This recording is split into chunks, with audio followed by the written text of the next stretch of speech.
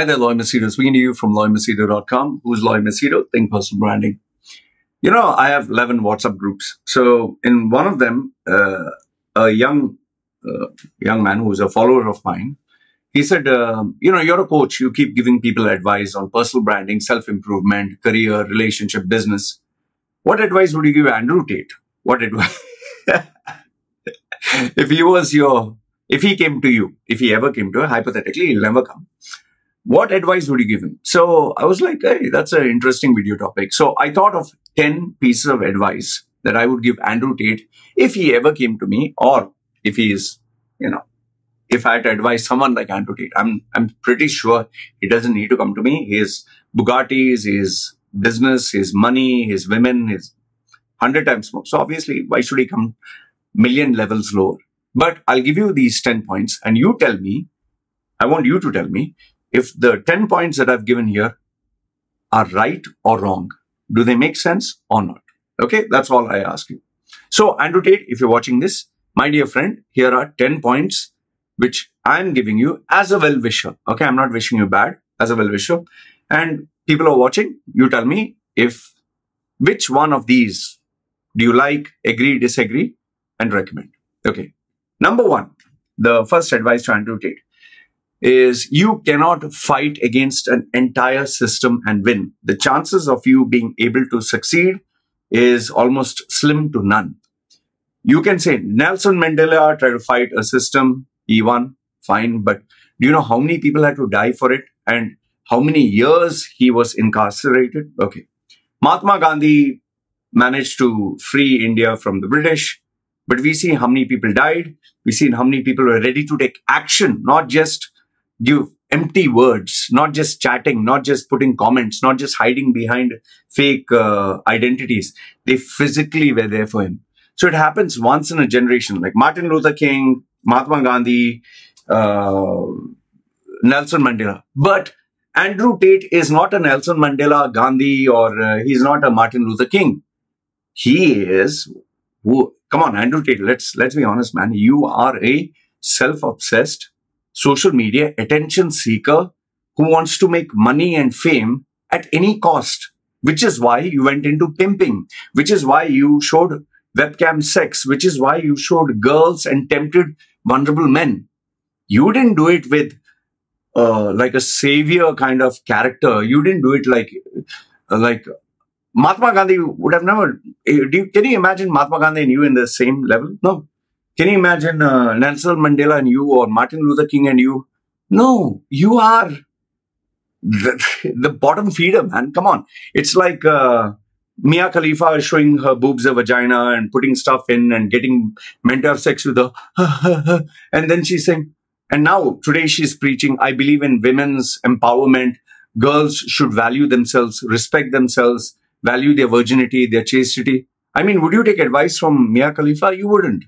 In the same way, why should a young man take advice from you when your success, your money, your fame, the foundation is based on this? So you're not a Nelson Mandela, you're not a Jesus Christ, you're not a Mahatma Gandhi, you're not Martin Luther King. Okay, so let's keep that into perspective. So if you're going to fight the system, your character must be flawless, your values must be flawless, your past must be flawless, only then you'll succeed or you can't.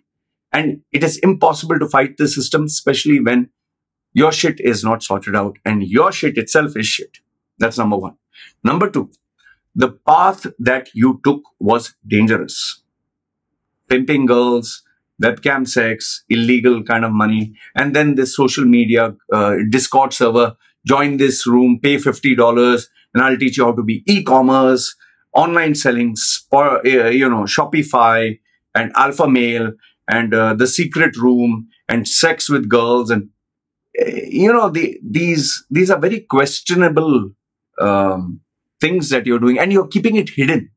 It's not for public viewing.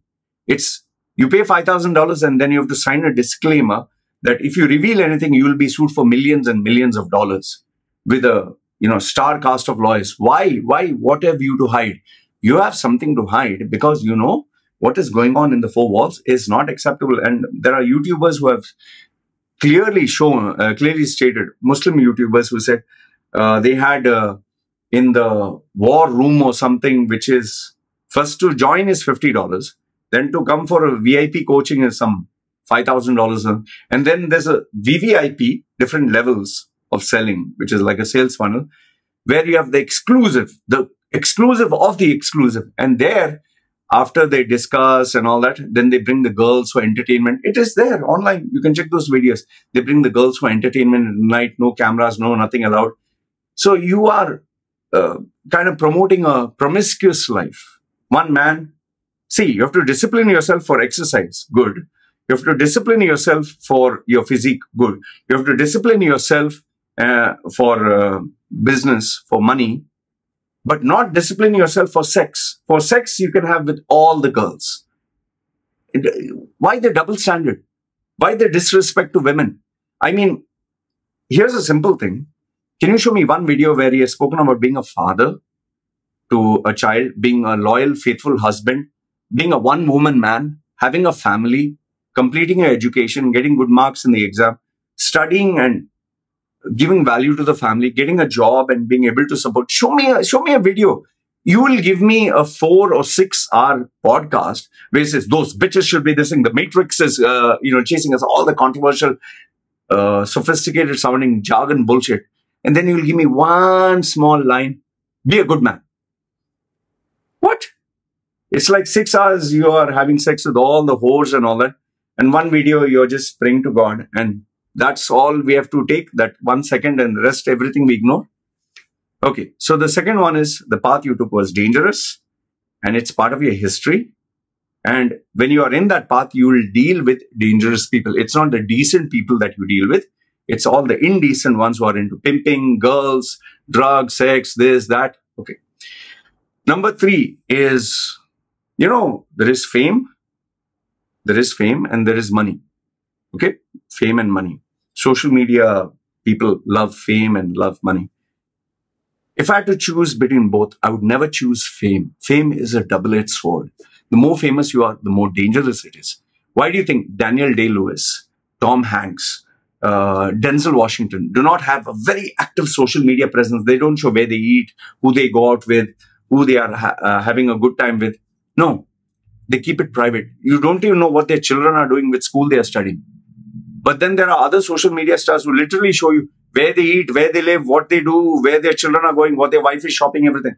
You know, the more you expose in today's social media day and age, it's dangerous. It's like, uh, you know, these idiots who mention when they're going for a holiday. Here in Thailand, it happened. This guy literally used to mention where he's going, what he's doing, where his wife is going, you know. The minute he went for a holiday, the minute he went, it was so visible on social media robbers, people who know him, they robbed, I think, millions of dollars worth of his house, everything. AC, the wall, the brakes, the cars, the parts, everything they took, ransacked. He lost around, I think, 4.5 million in terms of US dollars. Why? Because he mentioned everything also. It's very dangerous. Even me, whenever I go out for a business trip or go out anywhere, I do not mention, I do not tag. It's very dangerous that is why fame is a double-edged sword. It's very, very dangerous. Your children can be in trouble. And nowadays, they literally share all the data online. The more data you share, the more dangerous. So fame is a double-edged sword. And Andrew Tate's brand is built on fame. He literally encouraged people. This is, prove me wrong. He encouraged people, take clips of my video, make it interesting, make it shocking and share it. And I'll give you points or clouds and you can um, make money through what, what is that uh, TikTok or viral videos. He encouraged this. Tell me if I'm wrong. He encouraged this, and every single video he had, he had a team which was proved later with a video. He has a team that makes it a video clip, that makes it for TikTok, Instagram, YouTube Shorts, everything. They're busy editing. So he's no saint. And if he was very particular about his brand that nobody should share uh, clips, you, you know, he keeps crying a four hour clip, you'll take 30 seconds. You are the one who encouraged this. You are the one to make your brand become the most Google searched. That is why so many people who are not Andrew Tate, who are not part of your team, were dying to be part of this so-called inner circle. Which is why your videos went out of control and which is why they took sound bites, which made more controversy, generated more controversy, and you enjoyed it. Don't lie and deny it. So fame is a double-edged sword, my friend. Number four, Jordan Peterson said this beautifully. First, you know, sort out your room. First, keep that room in order, then go around changing the world. Your life, you don't have a proper relationship. Apart from your brother, you don't have a wife. You don't have a woman that loves you and sticks with you. You don't have a proper family life. You don't have a proper job. You don't have proper consistency. You're not staying in one place. You, there is nothing in your life that is stable. The only thing that is stable is controversy and traveling and holding the cigar and the Bugatti and the girl. And let's look at the end product. Let's look at the final product. Your life is a mess. You're behind bars or home arrest. Your, all your stuff has been seized. So, you know, the proof is in the pudding. So it clearly shows you're an utter failure. You're a self-obsessed, uh, attention-seeking guy who's beating his drum and saying, I'm alpha, I'm this, I'm, but you can't even get out of the house. Is that success? So when you yourself, your life is in a mess, relationships, love, money, success, legal, job, nothing is in order. What are you going around lecturing other people, man? Okay. Numbers, number five, please stop showing off. Stop, you know, your bloody videos oh, smoking a cigar. You wake up in the morning and the girl is giving you a massage and, uh, oh, you have that wide screen monitor. And then after you're sitting by the pool, oh. I know many people say, oh, lawyer, jealous, lawyer, jealous. Baba, agreed. There's no female to give me a massage at home. I can go here. Somewhere here, there are enough and more massage parlors, which is hardly 10, not even $10, less than that. I have one, two, three, four, uh, and there are one ultra wide monitor. I have six monitors. Do I need to show this off? Okay, barbecue. He's having a barbecue cutting and this thing. I can go expensive restaurant. See, there are a lot of people who can show off. Lots of people who can show off. But they're not showing off on social media. And those people who are grounded, who are not social media influencers or attention seekers, they don't display their wealth. The more wealth you display online, the more an empty shell you are. Tell me one thing. You are a normal person who's watching my video. How much does your CEO or your boss or your manager flaunt his wealth? Maybe they'll show the car. Maybe they'll show the house. Do they actually take a camera inside the house, show the bedroom, show the hall, show everything else? It is insane. You are stupid. People who value their privacy, uh, they don't do this. It is only attention seeking. It, it is only the social media, the small circle of empty shelves. These people with you, you know, empty vessels that are making, like girls are showing, oh, my life is this and that. People who are stable and successful, who are educated, don't do this. And in Andrew Tate's case, fine, you're a social media guy, you have to show off. But now when you're in bloody trouble, why are you showing off? Why are you still showing off? Your life is not in order. Why are you showing off? Keep quiet. No. He still has to show off. And when you show off, you piss a lot of people and they're like, oh, you're showing off. Good. I'll fuck your life even more. Tell me if I'm right or wrong. Okay. Number six. You know, when you collaborate with people, when you have good relationship with people, people work with you. MKBHD is a YouTuber. He collaborates with Dave2D, Linus Tech Tips, uh, Mr. Who's the Boss. Now, all these people are in the same line of work. They are competitors for tech reviews. But MKBHD is in good books with everyone, even Safe, uh, Safe uh, something. He wears glasses and they all work together. They all promote each other's channel. In fact, when Linus Tech Tips, uh, I think one of them, even Unbox Therapy, Unbox Therapy, all of them are Canadians, Americans, and they all work together. When uh, Linus Tech Tips um, warehouse caught fire, a studio caught fire, all these guys collaborated to support him financially. So they work together as a team and they help each other, even though they're competing for views. Because they say the pie is too large, man. We can support each other even Justine, I can't tolerate Justine. Even she, Justine, these all tech uh, YouTubers. But in Andrew Tate's case, he's pissing off every single person. He has pissed off Gordy. He has pissed off uh, other fighters. He has pissed off Logan Paul. Yes, controversy sells. He's trying to monetize on controversy. But when you piss off people, deep down, they would want your downfall. Like Gordy, another YouTuber, he and him were fighting left, right, and center. And then he said something about a Muslim joke. And then uh, Andrew Tate uh, tried to smear him as anti Islamic or Islamophobic. And And uh, he thought, Andrew Tate thought he had the last laugh. Now God is having the last laugh. See, when you piss off people, no, they would want your downfall. And that doesn't help anyone, man. So collaborate, don't propagate. Number seven is when you are the problem, when your life is not in order, when you have made problems, when you have a checkered past, lay low. Don't get people worked up because people will dig through your past. People try to, even, even though me, people do not know anything other than what I tell them. And I've been open and honest about my life online, where I've told about being a playboy. I had uh, sex with a lady boy, which I didn't know was a lady boy. Um, I spoke about my my girlfriend, who I thought was 18, turned out to be 17 uh, with one more month to be 18. And I only came to figure it out after one month of being with her that her birthday was 18. I said, I thought you told me you're 18. No, if I told you you're 17, you'd leave me. So I've been very open about this. And this was at the age of 31, nearly 16 years ago. Okay. I've spoken about being falsely deported from Dubai and I came back. They had to lift the case because it was a fake case. So I've said all this.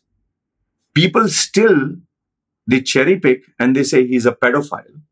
I found out you're a pedophile. Admit it. I found out you got deported. They'll not tell the whole story. They'll just cherry pick this the title. And the funny thing is, I have told them the story, but they twist it and they put it the other way. People create fake accounts and say, I'm a pedophile. They, all that stuff that they do. Now just imagine me, even though my record is not perfect, but I've been in the right. Still, people try to destroy my reputation. But with Andrew Tate, he has a litany of bad things you know, pimping is not a very decent, like Mia Khalifa doing porn. It's not a, now she does OnlyFans. So it's not something to be very proud of. Or even if you're proud of, don't lecture people on their character, no? Don't lecture people on Islamic values or Christian values. No, you don't have the right. And that also, let's assume before he was a pimp and now he's become a spiritual guy. He's not a spiritual guy. He's still fucking around. So why we uh, trying to patronize him? So the point I'm trying to give you is when you are the problem, lay low, my friend, lay low. Be nice, be polite. You still talk. The matrix is working against me and we are going to fight it out. And I destroyed CNN. I destroyed BBC. And they are still trying to bow me and control me. But I will never be. Shut up, man. Just shut the fuck up. It's so bloody irritating here. The Matrix, the Matrix, the Matrix. The I destroyed the BBC. BBC is still working. I destroyed CNN. They are still there. You're the one who's destroyed. You're the one who's the arrest. You're the one who can't get out. And people are saying, oh, he's he has the courage to speak the truth. Ben Shapiro, Matt Walsh, Candace Owens, um, Donald Trump, all these people are speaking the truth. All of them why nobody's doing anything to them? Why only? Because they don't go around pimping people. They don't go around uh, having webcam sex. They don't target vulnerable people for money. They don't show, you know, sitting with their jock shorts and uh, smoking a cigar and taking a massage. No, they are balanced individuals. They do real stuff. They don't go around, hey, what color is your Bugatti? Yeah? Uh, uh, uh. Why? This is not normal behavior, man. Then, number eight, you're in Romania and you're talking shit about Romania. The Romanian law, the Romanian government, the Romanian authorities, you are there in their backyard and you're talking shit about them. I mean, yeah, being brave is great. Oh, courage is a man. But not using common sense is stupidity. You think you piss off, you insult the Romanian government, the Romanian law, the Romanian authorities, and the Romanian underworld. You piss all of them off, disrespect them. It's like me being an Indian passport holder, I go to India and I insult the Hindu gods and I insult BJP and I insult Modi. What do you think is going to be my condition? Fuck, they'll bloody rip my limbs out. They will destroy me. They'll set me on fire. Imagine going to Pakistan and talking shit about Imran Khan or Allah or the Prophet. You will be fucking destroyed. Or it's like, you know, I stayed in Dubai for 40 years of my life. I never once, not even once, not even blog or video said anything, even a complaint, even price going high. I never spoke anything bad about Dubai because when you're there, you're the guest, behave yourself. You're a guest in Romania. You're in their backyard. Behave yourself now. Okay. Next one. Uh, you know, he keeps talking about, um, I'm the most Googled man on uh, the planet. Okay. I have millions and millions of followers. I can rock the system. Yeah, the millions and millions of fans are called freeloaders. Free loader. Okay. Small 10 year old, 15 year old, 20 year old, all the freeloaders, they will scroll, scroll, scroll, and these people are not going to pay. See, Mr. Andrew Tate, not one of these millions are going to come and rescue you, which they have not. Not one of them is going to donate to you. Why don't you start a GoFundMe and see how many people donate to you? Why don't you see who is going to leave their homes and come there and stand up for you and uh, guarantee their lives for you? No, this is all lip service. They'll admire you from a like and share. When it comes to action, zero. It is like having 5,000 friends on Facebook and thinking, see, I have 5,000 friends. But tomorrow, if you were to die, not even one will come to your, you know, there's a cartoon, no? We see, uh, they show the illustration. Uh, the guy is lying down on the coffin. And uh, this guy is saying, oh, why did you have so many chairs? He's saying, yeah, I, he had more than 5,000 friends on Facebook. I thought some people will come. Not even two turned up. That is exactly how your life is. It's all empty. It's all fake. Just as you're fake and you attract fake people, these are fake individuals who will never do anything for you other than just brave keyboard warrior words. That's it. 20 year olds, 30 year olds. They themselves, their lives are not in order. And who are the ones who are following you? Mentally depressed, who have never seen a single female in their life, who are suffering from poverty, whose life is not in order, who are not studying, who are loose character, who are rebels, who are misfits. Uh, you get all the junkyard following you. And that's what they admire you but they're not going to do anything for you. It's instead of having five meaningful relationships or five meaningful followers, you might have five million. It's no use, right? And number 10, see, stop trying to show you're the savior of the world. When the fact is, you're actually a fake. Don't get me wrong. You're not a savior. You're not Jesus Christ. You're not Mother Teresa. You're not uh, Martin Luther King. You're not Mahatma Gandhi. You, you're nothing. You're not even Elon Musk. You're not a leader of a country. You're a social media, attention seeking, uh, empty shell. Even your qualification, you're not a psychologist, you're not a psychiatrist, and you're giving solutions. Yeah, the dumb idiots will only follow. See, Jordan Peterson said it beautifully. I do not admire pimps. And that was his full stop about you. Pimping women is not something I admire. Making money pimping women, making money through selling sex online to vulnerable men is not someone I admire. This is Jordan Peterson's words. And this is what you are. You are a person who was a pimp, who made his money pimping women, selling sex online, dealing with such kind of characters, that is your social circle. So you're not a savior. So stop portraying yourself as a savior. And even all this, the matrix and uh, I destroyed and all that stuff you're doing, you're not doing it to change the world. You're doing it for your own personal selfish agenda and reasons. See, end of the day, I have, I've told people, I, I, you know, you can make your billions and Bugattis and babes and bums and this and that. But we need to keep it real. The problem with you is you, you're playing double standards. You're not talking what really has to be spoken. You're misdirecting and speaking of global issues and trying to portray that you are the one who's the savior. No, it's only these young men and women who are jobless, especially men who are really immature, who will follow and admire you. Real men with real families with real education. Then I admire. And last and not the least, I'll tell you this much. Even if you have 100 million followers, 100 million subscribers, followers, not one or not a group will come there to sacrifice everything for you unless they get some benefit. They are all keyboard warriors. Nobody is going to come to help you because you have dug your own grave and you know that for a fact. And like I told you, when you're in someone else's backyard, don't piss them off. When you're in someone else's backyard, don't show off. When you're in trouble, don't make a big noise and hey, I'm this, I'm that. You lose. You cannot fight the system and. Anyway, this is what I wanted to say, the advice that I wanted to give Mr. Andrew Tate. If anyone of you would like to share it with him so he gets some little bit of maturity, he grows up, feel free. Tag him, let him know. This is the advice I give him. And let's see, maybe he can turn his life around and make something worthwhile. He has incredible potential, incredible talent, intelligence, but his ego and his greed for millions, billions, fame, and this and that completely misplaced. And, you know, like they say, you know, that's the reason why he'll fail. Anyway, this is what I wanted to share with you. Let me know your thoughts in the comments below. Good, bad, ugly. This is me signing off. You guys take care.